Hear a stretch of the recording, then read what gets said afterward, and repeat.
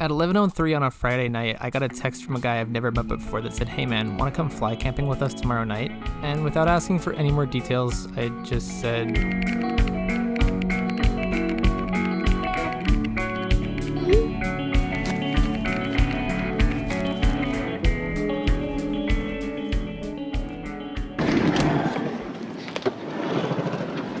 Oh my gosh, there it is. There's your scout mobile. Thank you for coming. I'm so late. Check out this Scout Adventure bags. So this Maximum is like capacity, dude. full on junk in the trunk, massive bag. If you want to carry all the in the world, Scout Adventure bags, Team Fly Halo will hook you up. Also, check this out. Gin tent. Parrot camping tent. I can strap it under here really nicely. I'm not. Dude, Put, oh, dude. I'm not. I don't think I'm gonna put it in there though. Dude. Dad. Money. Dude, Dad, money. You could put the, you could put a one wheel. You could put Marianne two in there. Dude, you could stick your coffee maker in there. You could fit a Boston Whaler You in there. You could put Josh McGee in there. All right, later. dude, I gotta get on the on the. Thank you so much for coming out. Bet. I'll see you later. All right, we're on our way to go fly camping. I gotta go meet the guys. They're like two hours north of here. We're gonna go. We're gonna go. I haven't met these guys before, so it's gonna be interesting going camping with some people I've never met. I've known you on Instagram for so long. yeah. For just bringing it in. Yeah. Yeah. Good to meet you. Yeah, absolutely. And then where are we going? So Beach that site. spot right up there, a big yellow closest to us, like So go up there. Sick. One, two, three. Let's get it. Put a whole ham sandwich in there. This is all the stuff that's going in the scout bags, gimbal, camp beers, another camera, water bottle. All right, the scout is fully stocked full of stuff. You ready? ready. Do you like some sick transition from like the the in the on the ground to in the air thing, or should I just film you all taking off? Probably film you guys taking off, right? Yeah, that works. Okay. One, two, three. Jumping off the porch like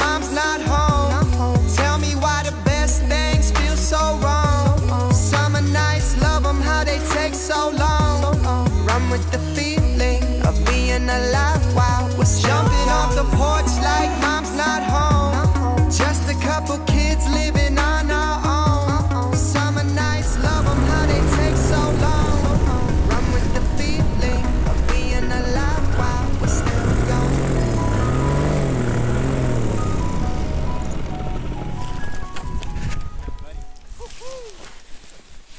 Hello. What about that? That was sick. That was holy we're on top of a mountain. dude, dude, the visual of you guys standing here like flying. Or, It's so sick, dude. this is so cool. Oh my god. I don't think I've ever done anything more surreal in my life. It's just the view. Yeah, buddy. Woo. Keep it going. Yeah.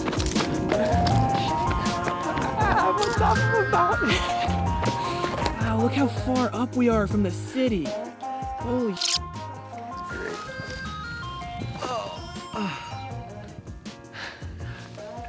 It's oh. so good. Am I geeking out too much or is this pretty awesome? This is pretty sick. Okay. Did we get your name at the beginning? No, I'm Alex. That's Alex. I, should, I, don't, I don't think I introduced anyone from this. we haven't introduced any characters. Name date. Jordan. That's Jordan. Yep. Alex. Alex. That's Braden. What's up? That was so awkward. Here's the deal. Top of a mountain, helmet hair to the max. Time to set up a camp. Oh my God, look at this view. I think we're at 7,800 feet here, pretty high up. I have the Gin paramotor tent, which I've never used before. And I just said, well, why not? Let's bring it to the top of a mountain.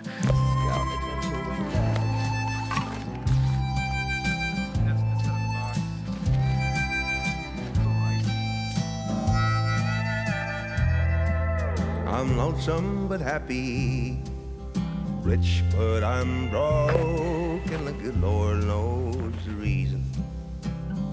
I'm just a cowpoke from Cheyenne to Douglas, the ranges I know, 'cause I drift with the wind. No one cares where I go.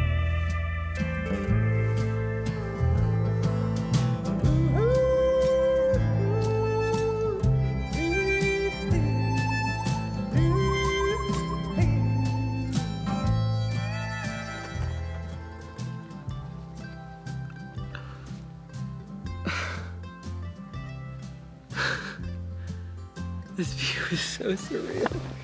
This view is so surreal. This is sweet.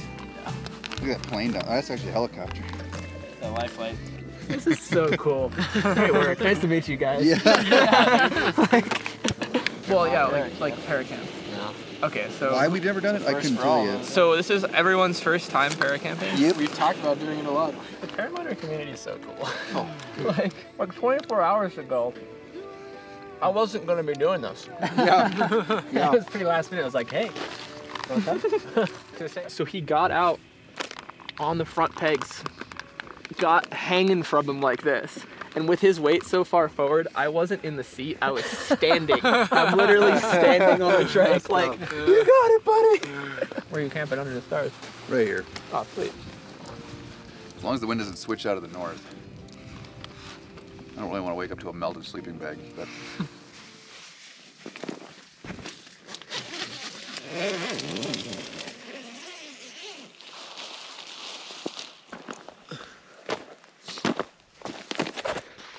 Oh yeah.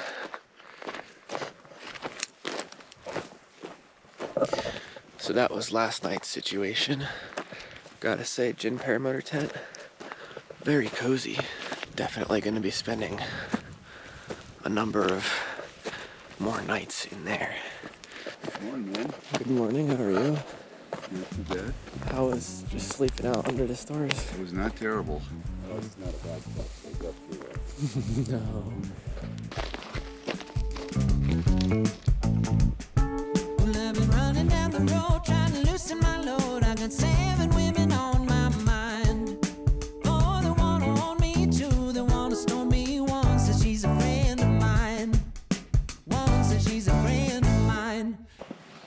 Good morning. How's it going? Oh, fantastic. Oh, it's fun. Rather fun. yeah. Just random dude. Just walked up the mountain. Just walked up the mountain. So there's the sleeping bag stowed underneath the tent. And I probably fit one other small thing in here. Cameras are gonna go, cameras are going on the chest bag. We should be ready to rip.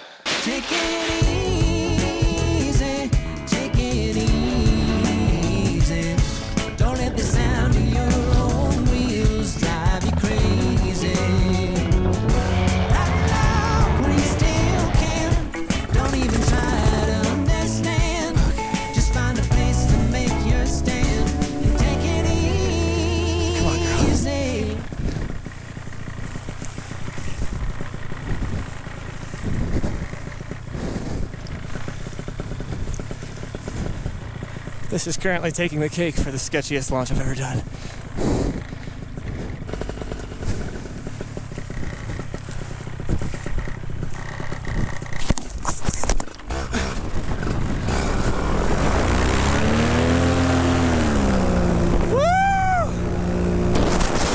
We did it!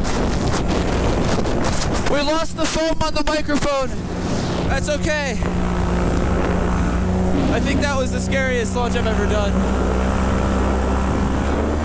Yep, somehow during that launch, the foamy thing that keeps the wind noise off the microphone fell right off. This little adventure, 2.5 mile flight with about 3,000 feet of elevation gain, the sum of its parts shouldn't have been this incredible.